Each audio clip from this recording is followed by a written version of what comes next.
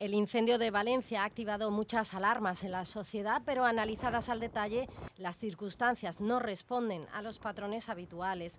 Desde el Consorcio de Bomberos de la provincia se ha recordado que no salir a las zonas comunes cuando hay humo, cerrar cuantas más puertas al fuego mejor o encerrarse en una habitación ventilada siguen siendo las principales recomendaciones para salir indemne de un incendio.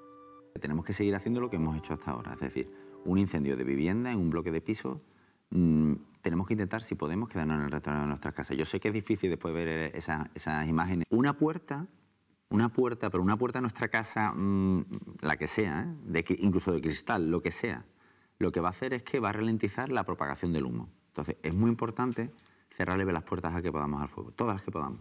El jefe de zona de bomberos en la Bahía de Cádiz, Ignacio Pérez, también ha alertado de la falta de conocimiento que aún existe en la prevención. No solo ha señalado la recomendación de evitar dejar fuegos y estufas eléctricas encendidas o sobrecargar las regletas. El tema eléctrico también es algo que siempre nos preocupa. Todos los años tenemos eh, eh, algún tipo de incidencia. Y, bueno, y también hemos hablado de los patinetes eléctricos, estas sobrecargas, que hemos tenido algunos incendios, es decir, Pérez ha incidido también en la importancia de instalar en las viviendas detectores de humo o fuego que verdaderamente pueden salvar vidas.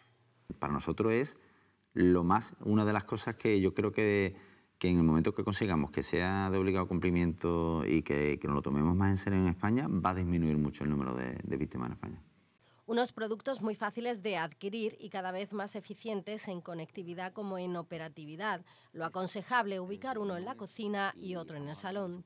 El 50% de los incendios de vivienda, yo diría que en torno al 60%, se producen en el salón.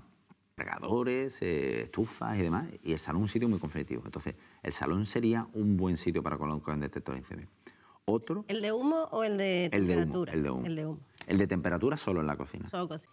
Según el jefe de bomberos, en un incendio es imprescindible mantener la calma, intentar controlar la situación dentro de las circunstancias.